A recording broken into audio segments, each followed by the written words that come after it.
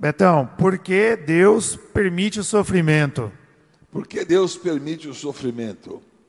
Muito bem, olha, o sofrimento tem vários graus de dor, né? Alguém fala assim, estou sofrendo, tu fala assim, ou não. Né? O mesmo evento produz em alguém um sofrimento, e no outro não produz nada. Então, o sofrimento, em primeiro lugar, ele é particular de cada um. Há pessoas que sofrem com qualquer coisa. Né? Tudo para ele se torna a tempestade em copo d'água. Tudo se torna um grande sofrimento, um grande pesar, uma grande dificuldade, e você então não está vivendo realmente aquilo que Deus espera de você. Agora, os outros que devem realmente ter na sua vida consciência, o que você precisa ter como consciência na sua vida? Que o sofrimento que você está passando, ele está gerando um testemunho. Quem que passou mais sofrimento de todos? O próprio Jesus. Ele sofreu tudo o que alguém pode sofrer. Ele sofreu o abandono, ele sofreu a rejeição, ele sofreu a perseguição, ele sofreu a traição. Tudo que a vida dele passou, ele sofreu, para quê? Para produzir justamente o testemunho que nós falamos, do qual ele é a marca de resultados inéditos para Deus.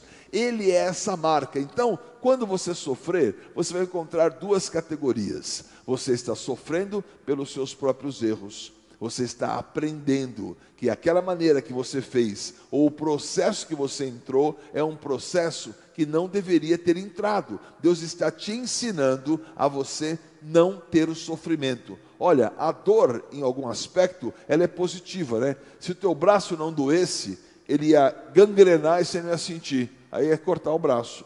É melhor que ele doa, sofra um pouco e você corrige esse processo, porque o processo da dor é um processo intrínseco a que há um alarme no corpo, algo não está andando bem. Então há esse sofrimento que é um alerta para você. O teu processo não foi bem, você não está observando esses e esses pontos, então a consequência é um sofrimento para a sua correção e ao sofrimento que Cristo passa por você, onde aquele sofrimento não é realmente algo que acabou com você.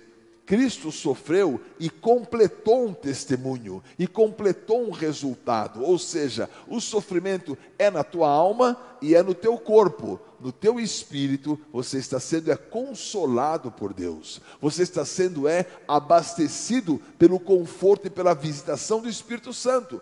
Dentro de você existe uma marca tão grande e tão poderosa que essa marca faz de você uma pessoa invencível nessas situações. Por isso, quando você sofrer, volta para o seu espírito. É no seu espírito que existem soluções que Deus está esperando que você entregue a Ele e que você vive então uma vida de grandes resultados. Então, analise o sofrimento, consequência dos seus erros, colheita indesejada. Ou também, eu estou sofrendo porque eu estou cumprindo em Cristo um testemunho, eu estou vencendo o inimigo. Então, não vai ser com murmuração, não vai ser batendo a mão na parede, não vai ser com raiva, vai ser com o controle do Espírito sobre a sua vida, vai ser com a marca que Ele te deu para fazer de você uma pessoa abençoada. Por isso, trata os sofrimentos.